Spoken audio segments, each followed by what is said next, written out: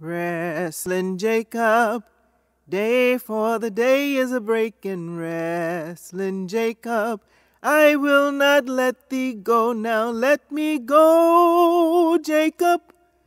Day for the day is a breaking.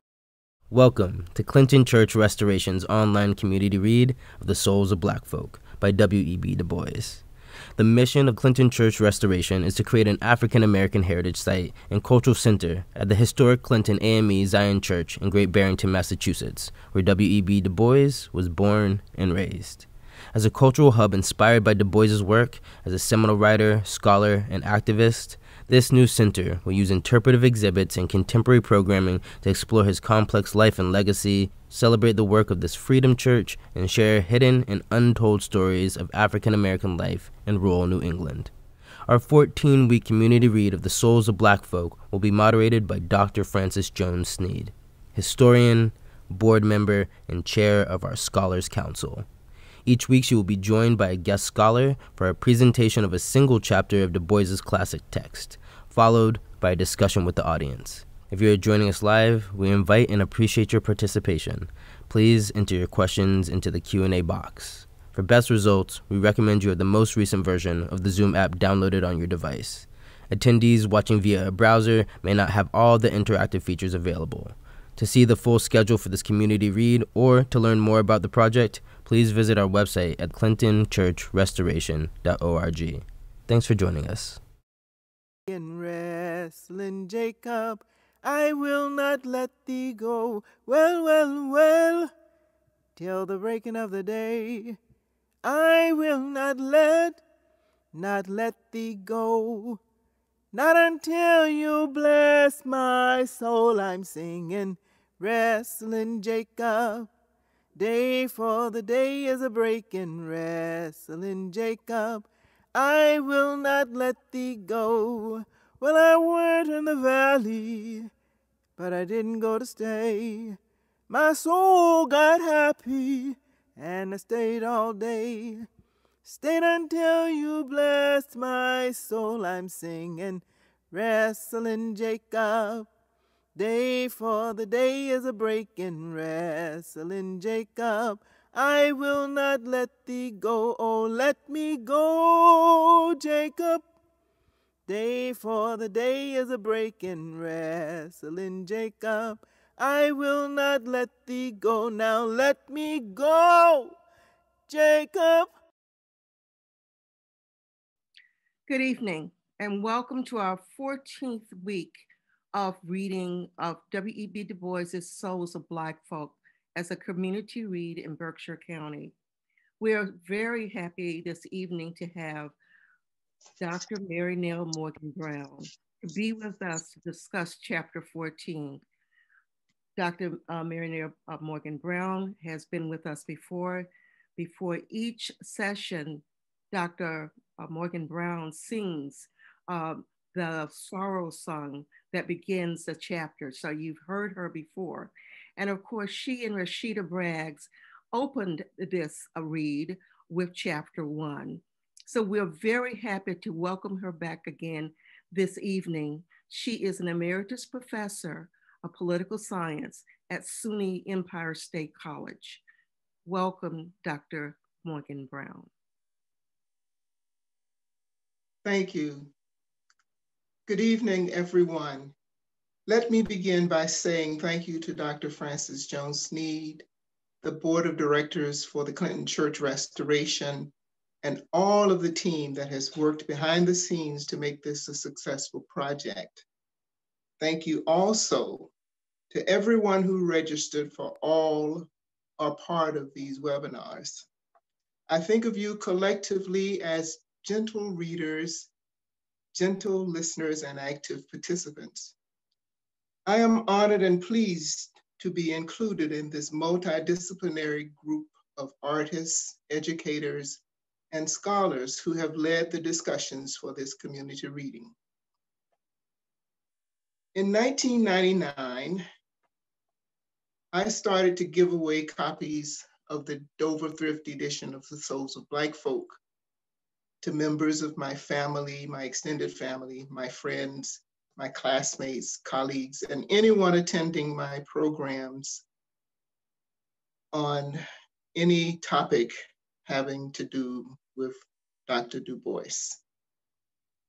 Du Bois, I think, should, um, I think everyone should read this book, The Souls of Black Folk. That is why I started giving it away. And I think that the sorrow songs will help us to understand it better. Dr. Rashida Braggs, as Dr. Jones has noted, and I opened this uh, series of seminars. When we opened it, I noted that we should read Souls of Black Folk from the foreword or the forethought to the afterthought. The only chapter in this book it, that does not start with of is the sorrow songs. I have been just, just struggling to decide what to include in my opening comments. So great has been my struggle that Donna Gauger, trumpet player, my co-worker on the sorrow songs, and creator of the collage for this chapter, suggested that the title for my remarks should be of the impossible task. That sounds like Dr. Du Bois, so I accepted that as my working title. I will try to weave together a summary of chapter 14, point out some threads of continuity that pull the chapters together, sing short phrases from a few of the songs, because for me, the entire book is a sorrow song. I will also try to share a few of my insights into Du Bois's character and highlight elements of the enduring relevance of the souls of Black folk. The operative word here is try. Think strive or struggle. Du Bois repeatedly uses strive and other forms of that word throughout the souls of Black folk. I quote Dr. Du Bois extensively in order to allow him to speak for himself and during the time for Q&A, maybe I can touch on some of the many details in this magnificent book that speak so deeply and profoundly to me and many others, like David Levering Lewis, leader of the discussion for chapter 12, titled Of Alexander Crummell. And David Levering Lewis is Pulitzer Prize winning biography of Du Bois and he wrote about the songs and the poetry that serve as epigraphs for all 14 chapters in this book. David wrote, quote, until the souls of Black folk, the souls of Black folk had relied mostly on the sorrow songs, spirituals, to find expression. Each chapter in Souls is headed by epigraphs that pair bars of music without the words of a Negro spiritual and lines of European verse by Browning, Byron, Swinburne, Symons, Tennyson, and others. Du Bois twinned them in this manner in order to advance the then unprecedented notion of the creative parity and complementarity of white folk and black folk alike. Du Bois meant the cultural symbolism of these double epigraphs to be profoundly subversive of the cultural hierarchy of his time. Until his readers appreciated the message in the songs sung in bondage by Black people, Du Bois was saying the words written in freedom by white people would remain hollow and counterfeit. End of quote. In the forethought, Du Bois writes, before each chapter, as now printed, stands a bar of the sorrow song, some echo of haunting melody from the only American music which welled up from Black souls in the dark past. Chapter 14 starts with a similar statement, quote, they that walked in darkness sang songs in the olden days, sorrow songs, for they were weary at heart and so before each thought that I have written in this book, I have set a phrase, a haunting echo of these weird old songs in which the soul of Black folks speak to men. unquote. The main difference between these two passages is that in the opening for chapter 14, a line is borrowed from the Bible, they that walked in darkness. And it leads me to notice that two sorrow songs serve as the epigraph for this final chapter. Lay This Body Down is the poem, and the musical notation without the words for wrestling Jacob is the song, a song of praise and triumph. Among the several references to walking in darkness in the Bible, there is one that seems most likely to be what Du Bois would choose. And it is from Isaiah chapter 14, verse 16. And it reads I will lead the blind by a way they do not know. I will lead them in paths that they have not known. I will make darkness into light before them and crooked things straight. These are the things I will do, and I will not leave them undone. End of verse. This passage indicates a commitment to unwavering struggle, a commitment to triumph over adversary, adversity. As in the case of Jacob, wrestling with the angel while crippled by an out of joint hip. In victory, Jacob is transformed and given a new name, Israel. This is one of many Bible verses, as well as one of many instances of comparing the experiences of Black folk to those of Jewish people. To quote Du Bois, as in olden time, the words of these hymns were improvised by some leading, leading minstrel of the religious band. The circumstances of the gathering, however, the rhythm of the songs, and the limitations of allowable thought confined the poetry for the most part to single or double lines, and they seldom were expanded to quatrains or longer tales, although there are some few examples of sustained efforts, chiefly paraphrases of the Bible. The music of Negro religion is that plaintive rhythmic melody with its touching minor cadences, which despite caricature and defilement, still remains the most original and beautiful expression of human life, human life and longing, yet born on American soil. Sprung from the African forest, it became one true, the one true expression of a people's sorrow, despair, and hope. Ever since I was a child, Du Bois wrote, these songs have stirred me strangely they came out of the South unknown to me, one by one, and yet at once I knew them as of me and mine. Let me note that while Du Bois heard the African lullaby as a child, I heard authentic spirituals, probably while still in my mama's womb. What Du Bois heard goes like this. Do bana koba geni me geni me. Do bana koba geni me geni me. Bendaluli nuli nuli nuli bendale. That image of his him being hold, held by his mother and a photo of his father on the side just makes me imagine that she might have sung that song to him as a child.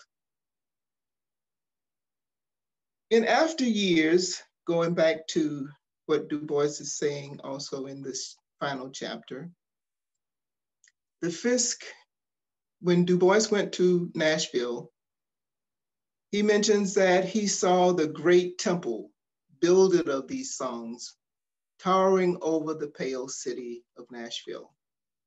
To me, Jubilee Hall seemed ever made of the songs themselves, and its bricks were red with the blood and dust of toil. Out of them rose for me morning, noon, and night bursts of wonderful melody, full of the voices of my brothers and sisters, full of the voices of the past. And I end that quote and go right to a Another one where he poses the question, what are these songs? And what do they mean? I know little of music and can say nothing in technical phrase. And let me add, neither can I.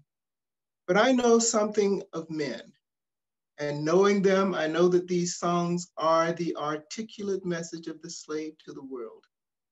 They tell us in these eager days that life was joyous to the black, slave, careless and help, happy. I can easily believe this of some, of many, but not all. They are the music of an unhappy people, of the children of disappointment. They tell of death and suffering and unvoiced longing toward a truer world. The songs are indeed the siftings of centuries, and perhaps explaining why he puts bars of music and not words, Du Bois says the music is far more ancient than the words. Through all of the sorrows of the sorrow songs, there, there breathes, breathes a hope, excuse me, a faith in the ultimate justice of things. The minor cadences of despair change often to triumph and calm confidence. Sometimes it is faith in life, sometimes a faith in death, sometimes assurance of boundless justice in some fair world beyond. But whichever it is, the meaning is always clear that sometime, somewhere, men will judge men by their souls and not by their skins. Is such a hope justified? Do the sorrow songs sing true? End of quote. Do you hear, as I do, in Dr. Du Bois's words, the words that Reverend Dr. Martin Luther King spoke 60 years later in his I Have a Dream speech? His dream that someday we would be judged by the content of our character and not by the color of our, color of our skin. Dr. King's words were spoken on August 28, 1963, the day after Dr. Du Bois had passed away in Accra, Ghana. Du Bois finds that there were four stages of developments for these songs. Now, this is at the time, 1903, and given that he says that these songs are the only American music, I'm sure that by 2021, there would be several other stages added, and we'd even be looking at rap as one of the items on this list. But for now, there's just four. First, African music for songs like You May Bury Me in the East. The second is Afro American music, songs like March On and Steal Away. Then the third is a blending of Negro music with the music of the foster land. The result of the blending is still distinctively Negro, and the method of blending is original, but the elements are both Negro and Caucasian. An example of this might be No More Peck of Corn for Me, uh, which is one of those really mournful kind of uh, laments. The fourth uh, development stage here is where the music, uh, where the songs of white America have been distinctively influenced by the songs of the enslaved or have incorporated whole phrases of Negro melody in songs like Swanee River, and Old Black Joe.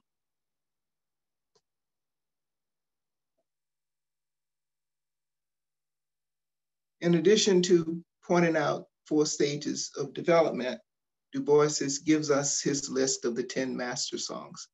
But he says, you know, this is not necessarily the definitive list. And he even, when he finishes giving us the 10, suggests at least three others that have appeared in the Souls of Black Folk. And when I looked at the list, I thought of songs that I didn't see on it that I thought I would certainly add to it. Um, but the list kept getting longer and longer. So I won't even try to list all of those. I'll just list the 10 that Du Bois comes with for his master songs. The first is You May Bury Me in the East. The second, Nobody Knows the Trouble I See. And that one, you see reference to it in the first chapter and also in chapter 14. There's a lot of going back and forth actually between chapters one and chapters 14. And um, when I sing these songs, um, I'm sure that I probably never do them exactly the same way twice. Um, nobody knows the trouble I see can also be sang as nobody knows the trouble I've seen. Um, and it goes somewhat like this. I'll just give a quick phrase. Nobody knows the trouble I see. Nobody knows my sorrow. Nobody knows the trouble I see. Glory, hallelujah. Sometimes I'm up, sometimes I'm down. Oh, yes, Lord. Sometimes I'm almost to the ground. Oh, yes, Lord. And nobody knows the trouble I see. Nobody knows my sorrow. Nobody knows the trouble I see. Glory, hallelujah.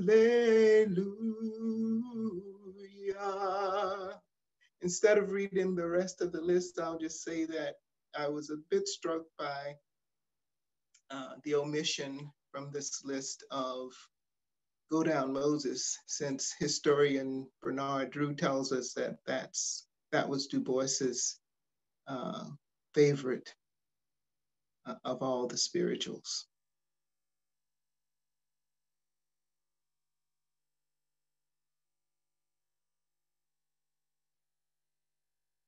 Now I want to turn just to some thoughts that I have about Du Bois and his character. Dr. Reginald Hildebrand the discussion leader for chapter 10 of The Faith of the Fathers, associates Dr. Du Bois with a trinity of beauty, truth, and love. I agree with this trinity and will add five additional concepts that I too I also associate with Du Bois. Art, freedom, hope, justice, and peace, for a total of eight. I think of eight as the number for infinity. Du Bois often capitalized all of these concepts in his writings. In his 1926 speech at the annual meeting of the NAACP, titled Criteria for Negro Art, Du Bois said that beauty sits above truth and right, and they are unseparated and inseparable. Also, he says that all art is propaganda and ever must be, and that he does not care a damn for any art that is not used for propaganda. He emphatically stated in that speech that he stands in utter shamelessness and declares that whatever art he has for writing has been used always for propaganda, for gaining the rights of Black folk and you know that Du Bois, that, uh, well, let me just go forward and finish this thought. One might say that Du Bois wielded a pen that he hoped would be mightier, mightier than the sword. Sometimes when he um, referred to hope, he rendered it in a puzzling way a hope that is not hopeless, but unhopeful. His ultimate hope, and I, this is something that is always, I think, necessary to remember about Du Bois and why he worked as diligently uh, all of his life. His ultimate hope was that the United States would live up to the principles in the nation's founding documents, the ideals of equality, freedom, justice, and democracy as self-evident truths. The hope of dismantling the false idea of white as superior haunted and inspired Du Bois's work, his work and his striving for all of the 95 and a half years of his life and still haunts us today in 2021. With regard to propaganda, Du Bois always pronounced it as just that, propaganda, and insisted that it should present the truth, not lies, and that the truth necessarily includes the good, the bad, and the ugly. Hence, in the sociological essays in the souls of Black folk, I sometimes feel stung, even damaged by some of his language. Terms like heathen, primitive, uncouth, and shiftless, for example. Du Bois's long life meant that he sometimes changed his mind. He believed that one should be committed to unvarnished truth. Truth is dynamic, not static. It is limited to our knowledge and understanding at any particular time. It was once true that Earth was flat. It was once true that humans could not fly. It was true that humans could not travel to the moon. Knowing that truth can change should mean that one's mind can be changed without losing integrity and without being labeled a flip flopper. Ralph Waldo Emerson transcendentalist, and like Du Bois, a Harvard graduate, explained these ideas brilliantly and memorable in Self-Reliance in 1841. I won't read that. Uh, I think it should be showing as a PowerPoint slide. The silently growing assumption of this age, Du Bois wrote, is that the probation of races is past. Such an assumption is the arrogance of peoples irreverent toward time and ignorant of the deeds of men. So woefully unorganized is sociological knowledge that the meaning of progress, the meaning of swift and slow in human doing, and the limits of human perfectibility are veiled, unanswered sphinxes on the shores of science. And here's my favorite passage in chapter 14, and maybe even the entire book. It is representing for me the passion with which Du Bois was, was giving us this, uh, this chapter and indeed all of the souls of Black folk. And it could have been written certainly in 2016. He begins and ends with a question. And this is what he wrote, quote, your country, how came it yours? Before the pilgrims landed, we were here. Here we have brought our three gifts and mingled them with yours. A gift of story and song, soft stirring melody, in an ill-harmonized and unmelodious land, the gift of sweat and brawn to beat back the wilderness, conquer the soil, and lay the foundations of this vast economic empire. And the third, a gift of the spirit. Around us, the history of the land has centered for thrice a hundred years, and we have found peace only in the altars of the God of right. Actively, we have woven ourselves with the very warp and woof of this nation.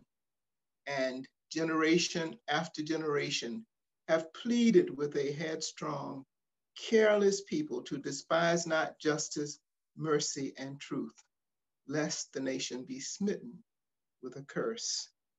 Our song, our toil,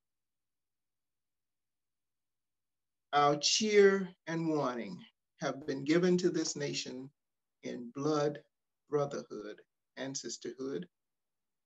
Are not these gifts worth the giving? Is not this work and striving? Would America have been America without her Negro people? End of quote.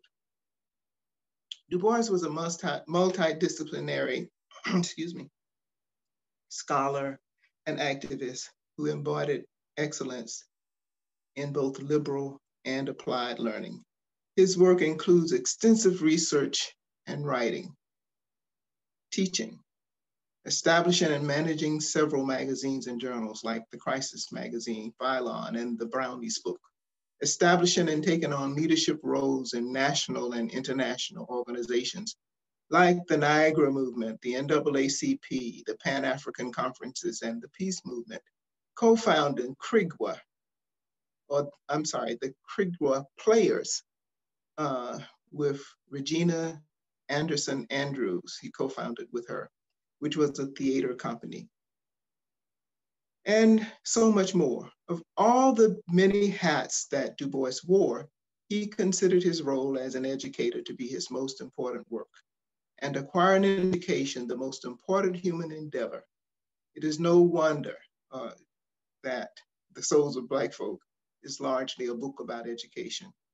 The book is about uh, the particular experiences of Black folk, but it is really universal. I use this book as essential reading with my students um, when I, before I retired from uh, State University of New York, Empire State College which is the non-traditional college um, for students or working adult students who always uh, develop their own program of study. And one of the things they are expected to do as they develop their programs is to look at what it means to be an educated person. So I required uh, Du Bois, The Souls of Black Folk, for all of my students, because that course is always taught, taught by the faculty mentor or faculty advisor for the students.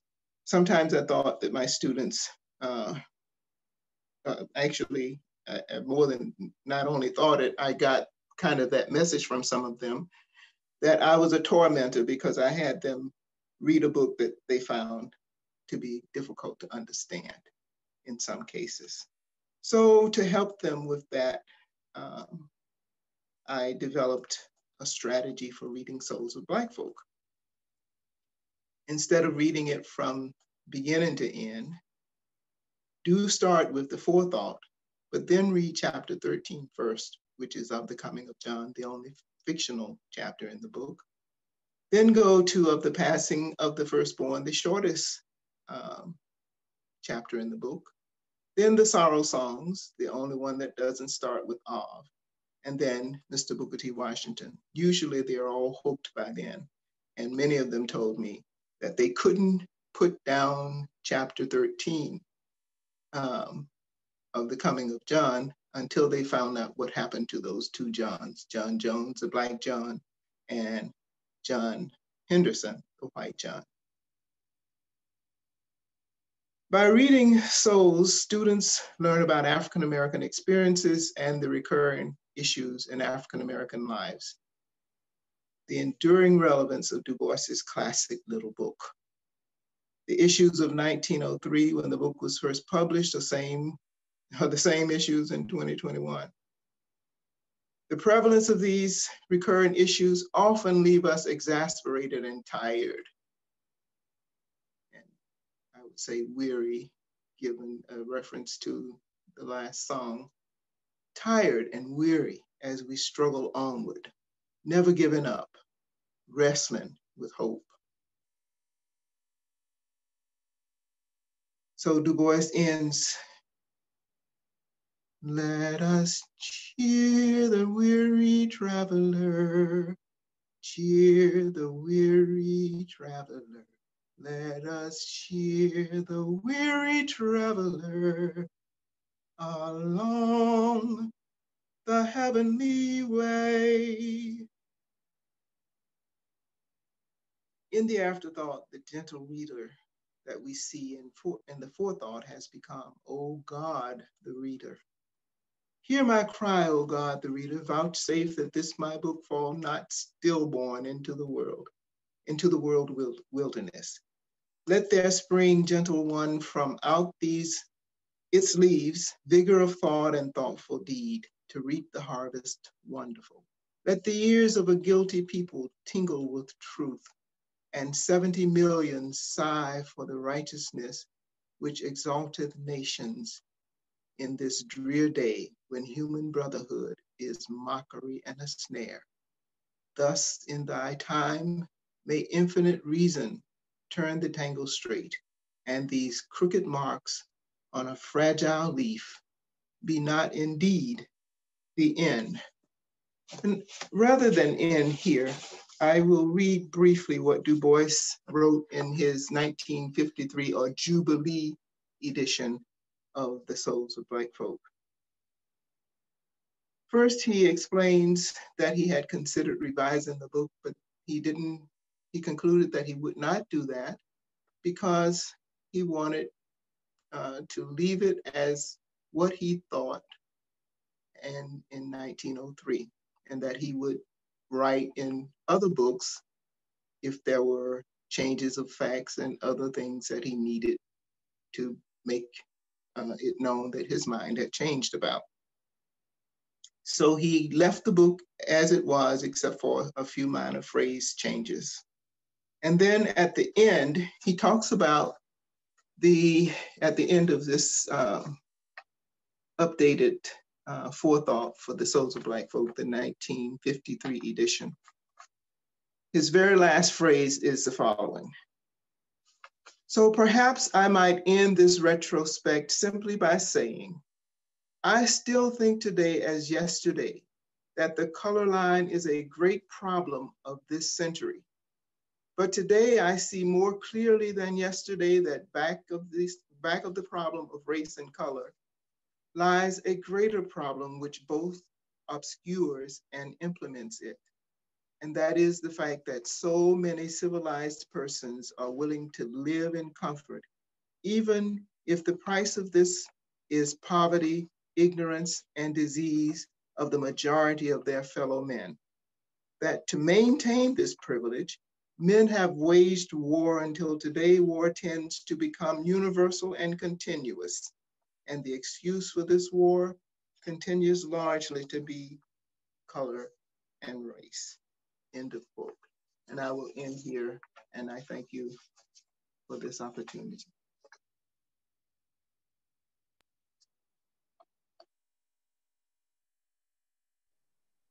Thank you so much, uh, Dr. Morgan Brown. That was beautiful.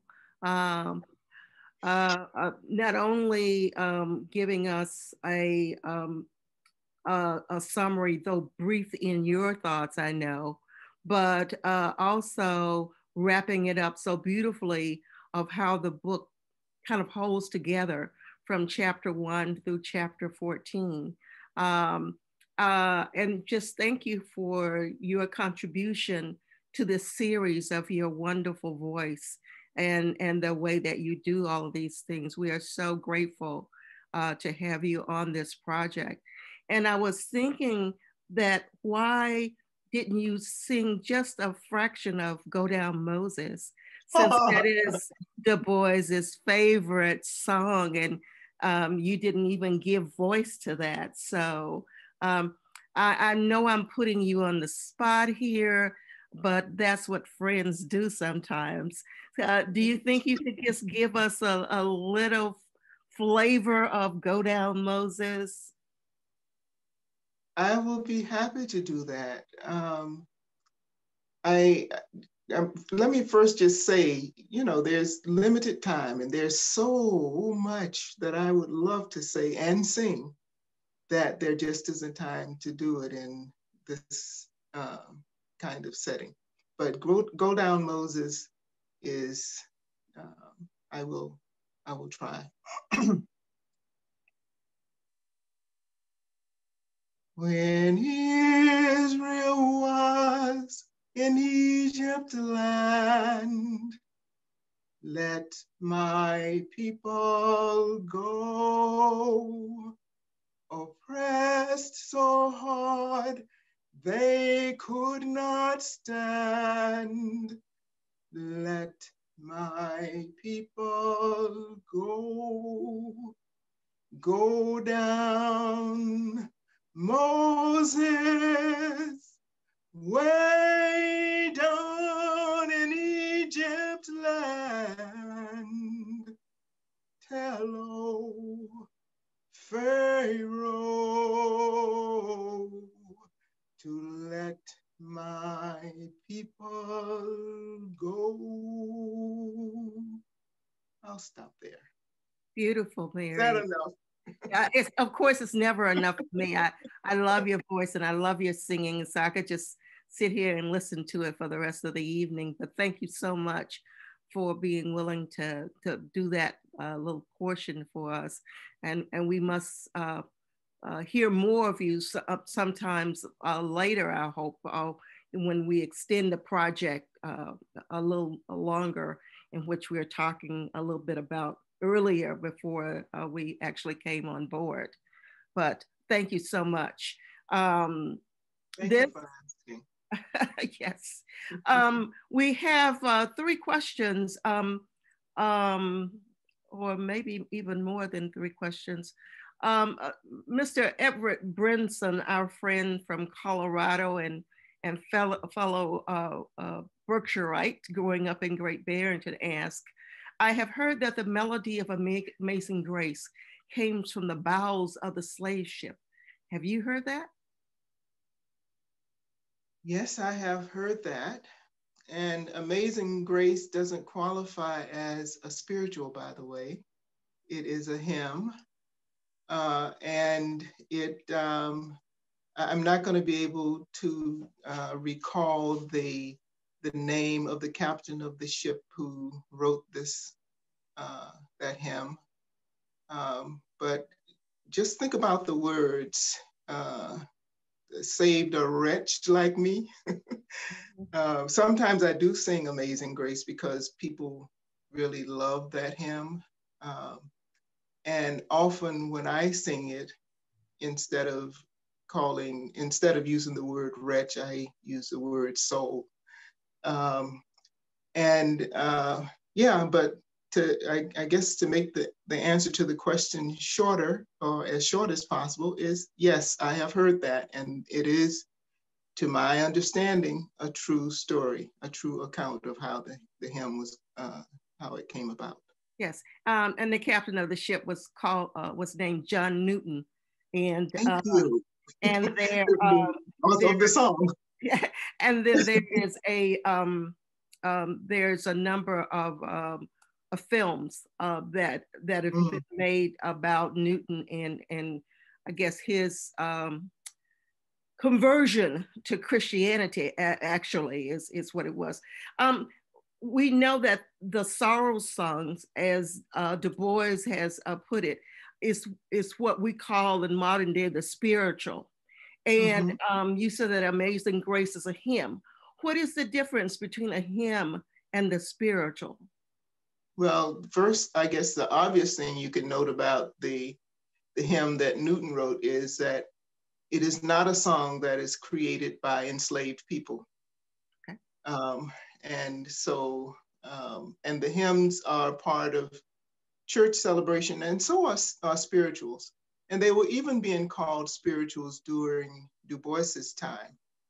Um, he, you know, I think I might have intended to say, if I didn't say, that if you notice for the souls of Black folk, the title of the first chapter is Of Our Spiritual Strivings. Mm-hmm then in the end, he calls, he uses simply the sorrow songs. Mm-hmm. And I should say that, and, and this is probably something I should have uh, paid more attention to when I was preparing what I would comment about. That if you notice, even though largely the sorrow songs is about the spirituals, they're also about, um, uh, the chapter, I'm sorry, is also about um, a song like the um, um, the the the use of um, the, the sorrow involved in uh, loss of love or you losing a lover. Uh, I'm thinking of the song um, that he compares to the German folk song about the sadness over losing one's love. Mm-hmm. So Du Bois is recognizing that it's not just the spirituals that are sorrow songs. There are other folk songs that are sorrow songs. Yeah. And, and I think that um, very interestingly, um, we're talking about the peasants, uh, uh, you know, the working folks, you know, from, uh, he was talking about those people from each culture and just not uh, Black folk. But he's comparing uh, Black folks' lives with those and saying they, they are indeed similar. But uh, another difference, and I think is a big difference um, between the spiritual and hymns, hymns always come with uh, accompanied by musical instruments of some kind, right?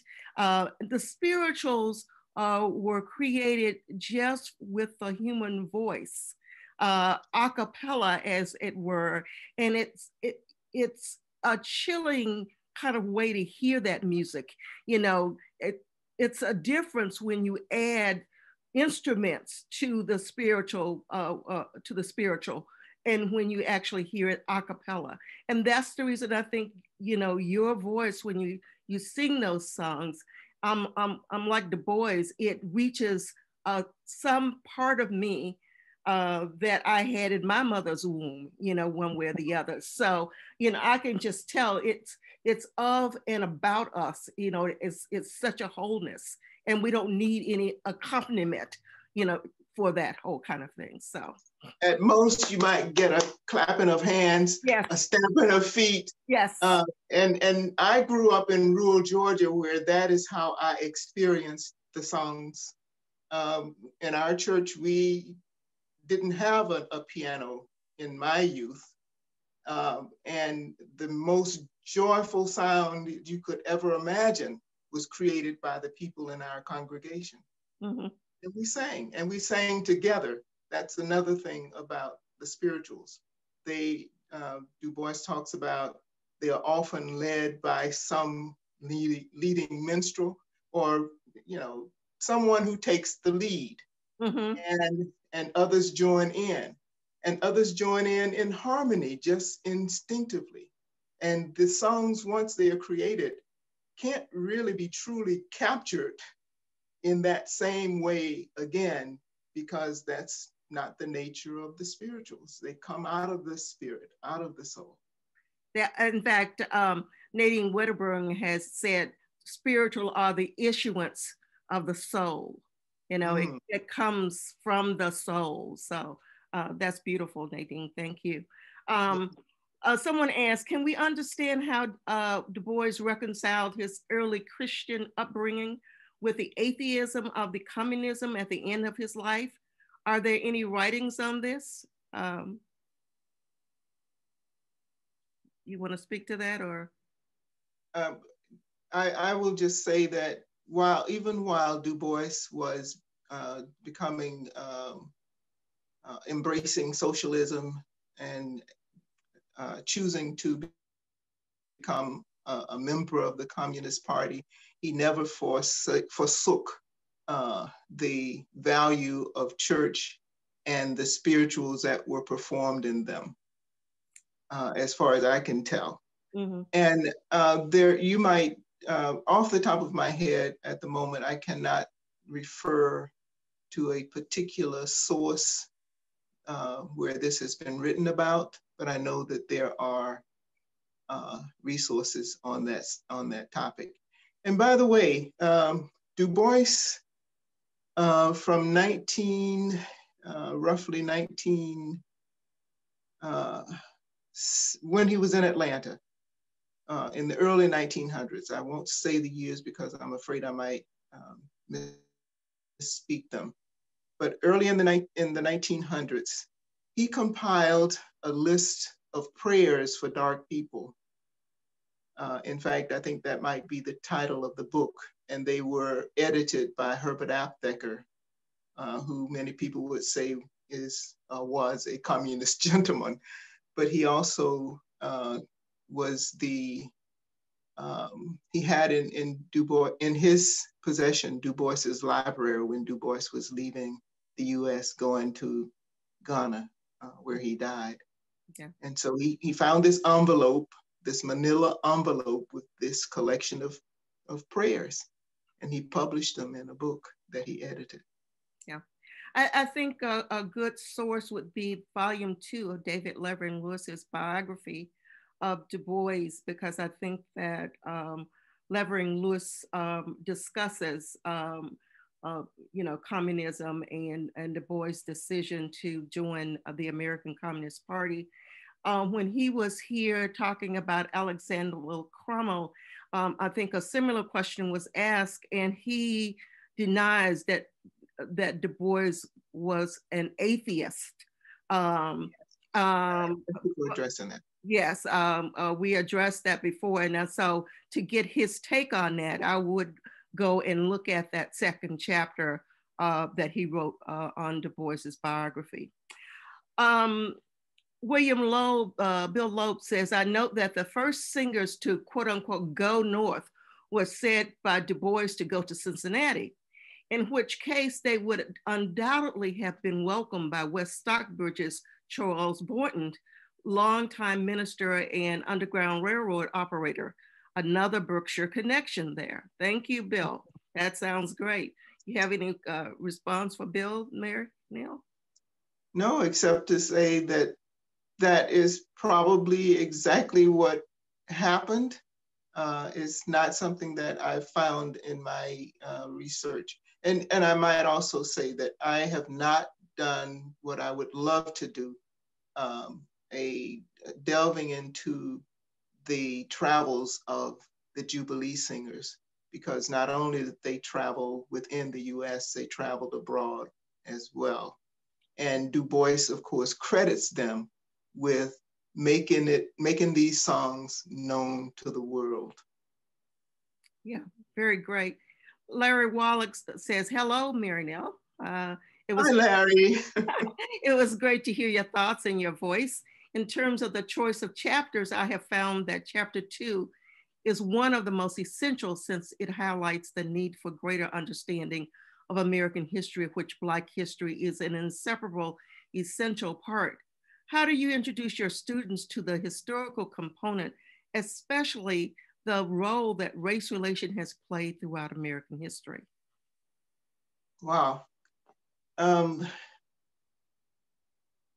I, I, do exactly in part what Larry has suggested there. Um, there is no way you can tell the American story without telling uh, the story of Black folks in America. And even when there is an effort to uh, not focus on Black folk, their presence is so obvious in whatever story you have to tell.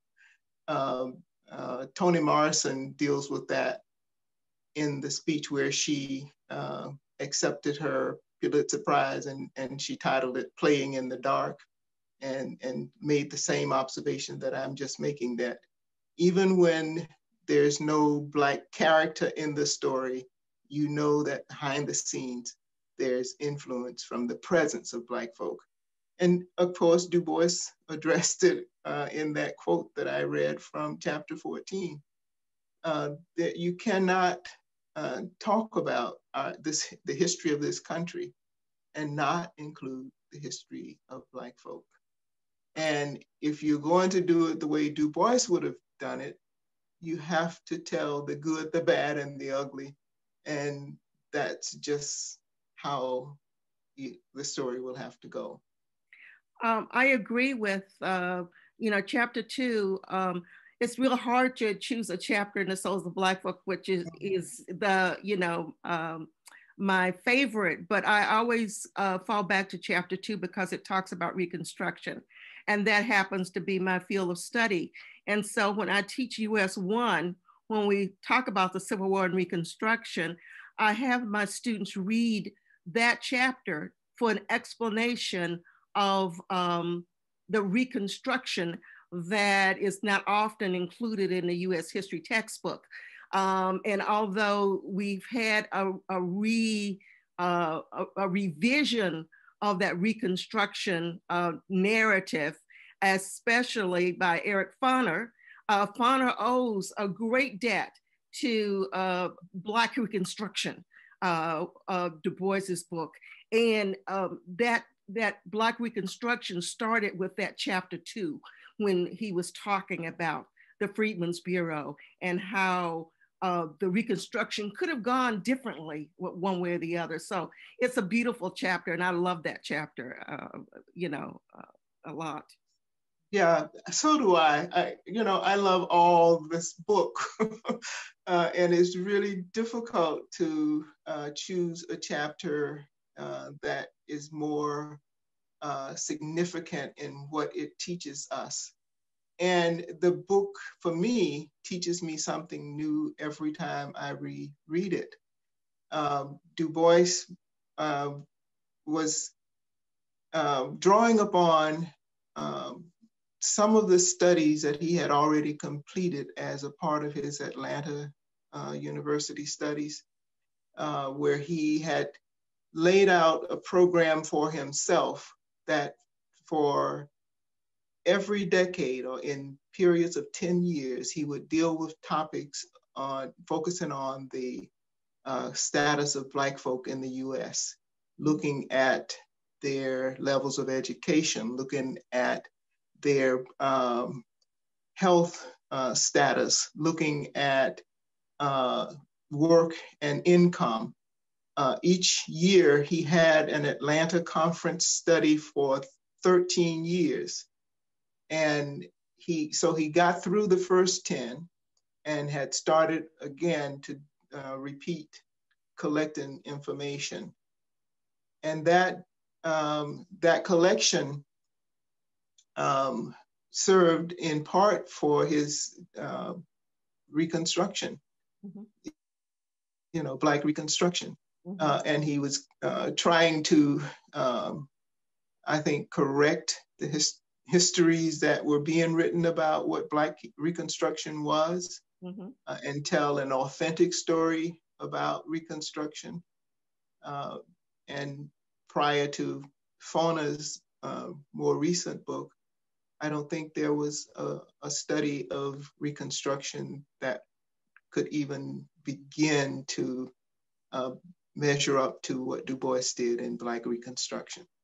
I agree. And David Levering Lewis uh, uh, says that Black Reconstruction is um, Du Bois's opus. yes, he does. His, his magnus opus. So um, uh, the book uh, about Du Bois uh, and the importance of his spirituality, uh, John Horan, who is uh, one of our um, backstage crew, uh, says is American Prophet by Edward J. Blum. If anybody's wanted to, you know, look at that. I hope that what we will do is that we'll have on our website is the, a development of a, a resource guide of, uh, of, of, books and articles if people, uh, you know, defined by a topic, if people are actually interested in uh, further looking at that. So thank you, John, for that. Uh, Lena App- Apadu is in, um, in the audience. Hello, Lena. Uh, she says, hello, MaryNell. I enjoyed your wonderful singing and discussion. Are you familiar with Zora Neale Hurston's term for the spirituals as quote unquote neo spirituals? She argues that these songs in their original form were rendered a cappella and without harmony. As you mentioned, they were sung in your home church. Um, Zora Neale Hurst, uh, Hurston is one of my sheroes, I guess. Um, and and you know she and Du Bois corresponded. They uh, had come up with, or, or Zora Neale was suggesting to Du Bois that there should be a way to honor Black folks uh, by having a cemetery in Florida where all people of all Black people of note should be buried. and she wanted it to be in Florida because the weather was always good. The funeral, um, the um, the cemetery could be beautiful because of the thriving of beautiful uh, plant life and all that kind of thing. Um, and her um, her folklore, if you will, um, is very telling about Black life uh, and her um, her description of spirituals. Uh, I think is um, right on, except for the part about the harmony, because I do think that the harmony happened spontaneously when people sang the songs together. And that's one of the things I like to have the opportunity to do, to do when I sing the spirituals, to have it be participatory, that I'm not just singing to people, that people are singing with me. Uh, I think you like uh, uh, the call and response uh, impulse that goes along with uh, the spirituals and, um, you know, Black uh, more than anything else, right? Uh, hi, Marissa Massery says, beautiful, thank you for this. Du Bois alludes to the cultural appropriation throughout the book. This is a kind of a big question, but how do you think Du Bois would respond to the evolution of Black cultural appropriation in American music from when he was alive until now? Whoa, that is a big question. Well, I think he answered that in, in when he did that uh, four stages of development mm-hmm. where he says um, whole phrases are incorporated into the Caucasian music. And often he uh, mentioned uh, in chapter 14 that sometimes the source is uh, forgotten or not credited.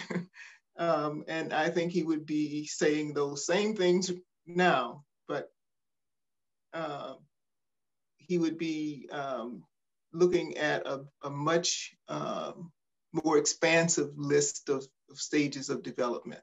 Yeah, and, and and and still pointing out, you know, how could America be America without uh, her Negro people? Her Negro people, and uh, the interesting thing, uh, Marissa, about the continuing evolution of um, of of music Black music is that uh, it keeps changing, right? Uh, from uh, rock and roll to doo wop to uh, now rap, and you know, so you know, in in ten years there'll be something else because uh, it seems like Black people are always creating something that others would want to imitate. So because um, I, I, have to say, like Du Bois, uh, we are the originals. So uh, I think that's still going to be true. Dolan Hubbard is in the audience. Hello, Professor Hubbard. Hello, Hello Professor. Cheers for a stunning meditation on Du Bois, he says. To what extent do the sorrow song spirituals play a central role in the cultural imagination of Black Americans? Oh. to what extent? Yes. Um, I, I think you, you, don't have to look far to, to see how we are influenced by our music.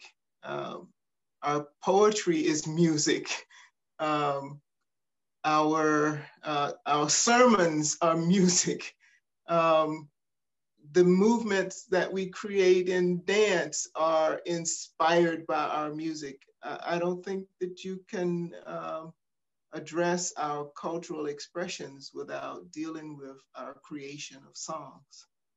Yes, large extent, sir, large. Large extent. All encompassing. Yes, ex- yes. I think. Yeah. Um, someone asked the last quote from Du Bois could be a recent criticism, especially with the recent freezing weather and the way our country relies on the poor and at the time loves to punish people for being poor. Um, yes, I, I think that um, um, MaryNell spoke to this, that indeed, um, although it was written in 1903, uh, a lot of passages in, in the Souls of Black folks seems that, you know, we could, could have been written in 2021 and certainly impact 2021. And that is why we believe that Du Bois and the souls of reading of the souls of Black folk is so important. You know, the, um, I don't remember precisely the, the chapter that it's in, but it's very early in the book, I believe, where he talks about to be a poor people, how uh, degrading or whatever that is, how, how that can be uh, devastating, but to be a poor race in a land of dollars and cents, how devastating that is for Black people. But you know, the one thing we we I think absolutely have to um, remember is that Black people in the United States are disproportionately poor because for centuries we were forced to work ourselves to death with no pay. Any group of people who do not reap the, reap the benefits of their labor would be poor. Yes. And when nothing is ever done to address that, then you just perpetuate that standing. Yes, yes, I agree.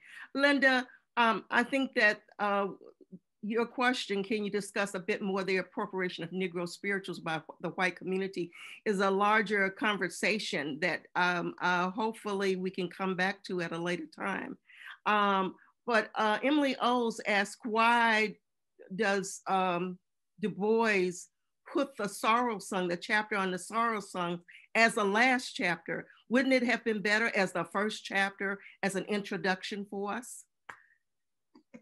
Maybe was, so, Emily. What, what was his intention? Any sense of what Du Bois' intention was placing it um, at the end? Well, of course, it would be speculation since I don't know if Du Bois has ever ventured to try to explain the ordering of the chapters. But knowing how he thinks, I'm sure he had some reasoning behind it. Um, and um, if you notice, this chapter pulls, it, it harkens back to the very first chapter. Mm-hmm. Um, and, and he leads us through all kinds of uh, experiences, primarily in the South. Um, I sometimes, since I'm from Georgia, and I feel very proud to be from Georgia uh, right at this moment, um, this is a Georgia book of the Black Belt, of the Quest of the Golden Fleece. There's so many chapters where he is in the deep um, Black Belt of Georgia. And of course, there's Tennessee. Uh, even though there are so many places that can claim Du Bois, right? Massachusetts as his state of birth, New York as where I now live, as a state where he spent many of his productive years uh, as um, one of the leaders in the uh, NAACP. Um, but uh, it's, I, I'm, I'm wandering away, I think, from the, the question that Emily is asking me to address. Uh, you know, why did he put the sorrow songs last? Um, I think it, it is like the punctuation of, you know, the book is a sorrow song. Um, that struggle that he uh, that the Bible tells us about uh, Jacob wrestling with the angel and and the outcome as triumph and transformation. Uh, that's what he's hoping this book is going to contribute to, which is why he says he hopes that these crooked lines on uh, a page, a fragile page, will not indeed be the end, and he doesn't put a period there. In fact, so uh, our our staff says it feels like a benediction. Uh, mm. Yeah, I, I, like that. Uh, I like that too. Uh, uh, Professor Hubbard recommends a book that he's currently reading called Divine Discontent. Uh, if anybody's interested in that. And he reminds us that Du Bois lived 10 years in Baltimore. So, you know, we have to include Baltimore in that list. So we absolutely. Absolutely. He built a home for his first wife in Baltimore. Yes, yes. So Miriam, oh. He was still he was in a commuter marriage at the time. So much of that, even though he's in the directory of of citizens for Baltimore for some 10 years or more, much of that time he was also in New York. Yeah.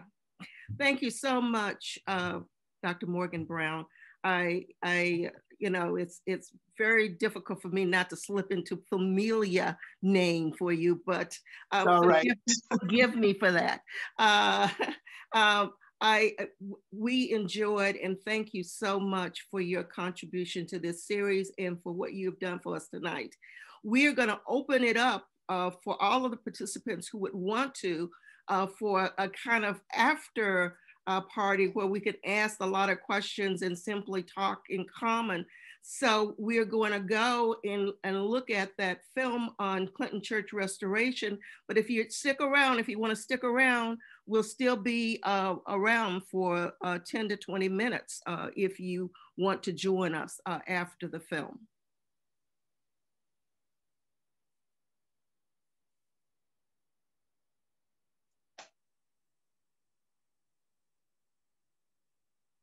Lift every voice and sing till earth and heaven ring, ring with the harmonies of liberty. Let our rejoicing high as the listening skies. Let it resound loud as the rolling sea. Hello, I'm Wray Gunn, chairman of the Clinton Church Restoration Project. We are creating a nonprofit center for African American history and culture at the historic Clinton AME Zion Church in Great Barrington, which I attended for over 70 years. The Berkshires are rich with black history that is little known and sometimes misunderstood. For example, my ancestor, Agrippa Hull, served in the Revolutionary War and was the largest black landowner in Stockbridge. Once completed, our center will tell his story and those of W.B. Du Bois, Reverend Esther Dozier, and many more. Please help by donating to this historic project. We need your support. Thank you. Oh, freedom. Oh, freedom. Oh, freedom over me. And before I'd be a slave, I'll be buried in my grave and go home to my Lord and be free.